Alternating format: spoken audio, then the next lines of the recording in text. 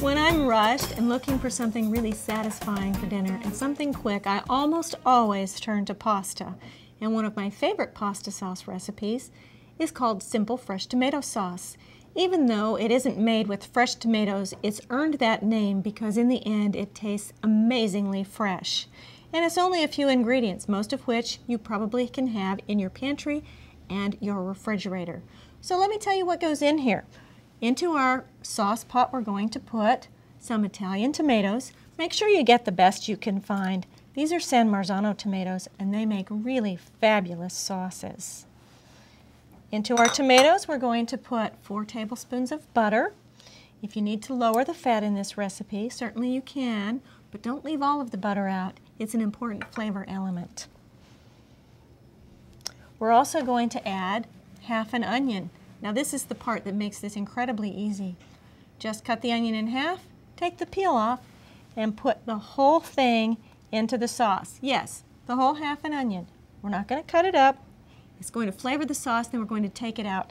If you wanted to serve that on the side, as a side vegetable, certainly you could, or you could cut up the onion and use it for something else, which of course is what the Italians would do. And to our tomato mixture, we're going to add just a little bit of sugar. Last but not least, we need to add the most important fresh ingredient, and that's fresh basil. So to use the fresh basil, we're going to, we have about eight fresh basil leaves here, we're going to keep one out for a garnish. The rest of these we're going to stack into a nice neat stack and roll into a roll from one side to the other. And then we're going to slice these into shreds.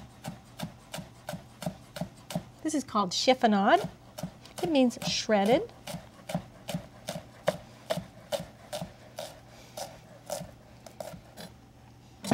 And there we have beautiful basil shreds. Let's get these right into our sauce. This sauce needs to simmer for about 20 minutes. So this is the time you can take to cook the pasta. Now this is kind of a medium consistency sauce. You could serve this on spaghetti. You could certainly put it on penne or something a little heartier, a stuffed pasta, maybe ravioli or tortellini. It's really nice on gnocchi as well. So let this simmer for about 20 minutes and we're going to serve it on some spaghetti. Okay, so our simple fresh tomato sauce has been cooking and simmering for about 20 minutes and it's done. It's ready to serve on our hot cooked pasta. We're ready to go. So the first thing you need to do before you serve this is to take out that onion. Remember we talked about this before. You could slice this and serve it as a side dish, or maybe save it and put it in an omelet tomorrow cut up. It's just a flavoring agent for this sauce. And here is our beautiful sauce. Wait till you taste this.